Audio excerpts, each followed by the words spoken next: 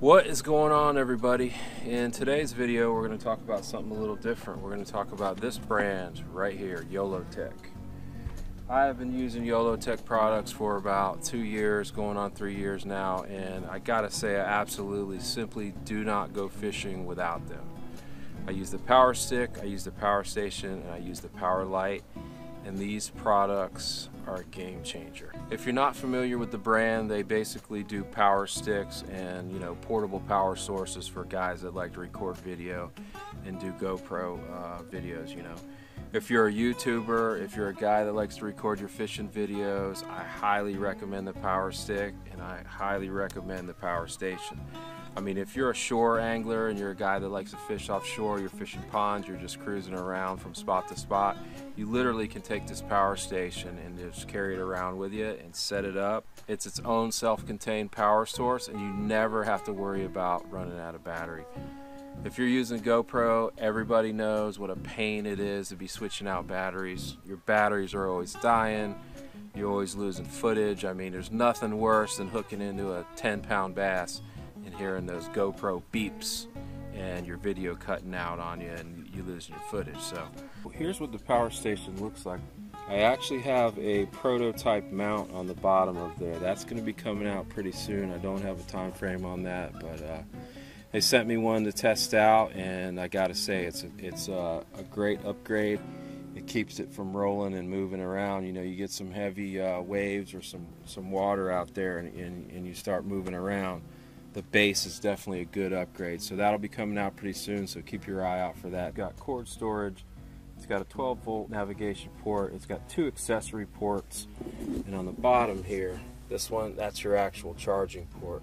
Here's your power stick, here's your double barrel power station, um, here's your light. Got this YOLOtek power light about a year ago, a little over a year ago Christmas.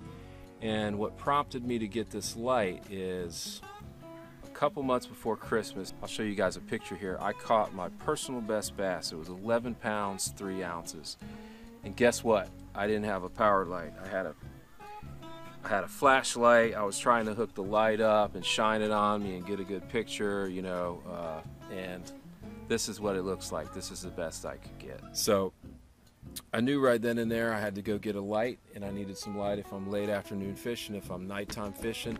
Here's another video. I'll show you this one right here. This is a picture of a 9 plus pounder, almost 10 pounder that I caught, and I actually had the YOLOtek power light on this. And look at this picture.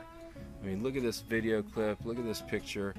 It is unbelievable, and that's basically just turning that light on. I had the sunset behind me. It's one of the best pictures actually I have ever taken. So I don't know what more of a testimonial you need than looking at this picture to know that it's uh, something that you might want to consider. So here's your specs here. It comes with a wall charger. It comes with a car charger. It's got a couple little auxiliary ports to it.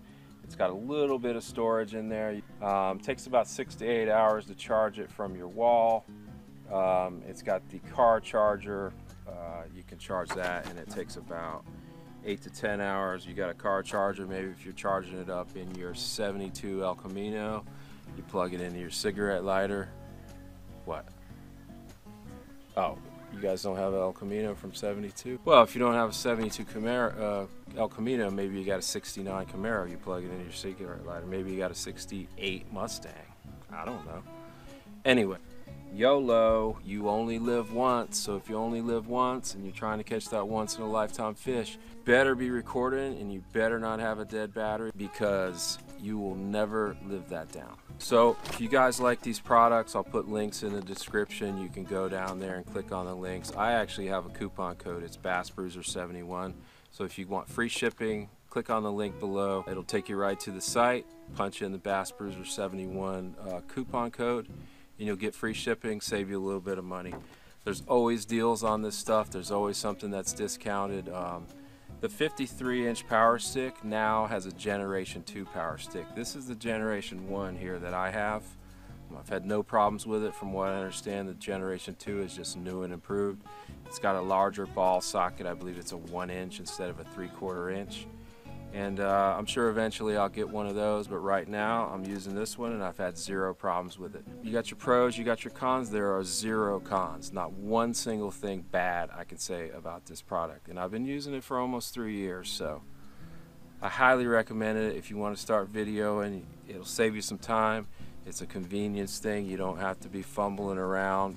When I first started I made my own little power stick. I, I took a I took a USB port and I drilled it into my old tracker and I ran a wire to my motor battery and then I, I, I had like a 12 foot uh, I had like a 12 foot USB wire that I run to the battery and then I run up to this long pole and I had all this stuff hooked up. So this is just one stop one shop no worries.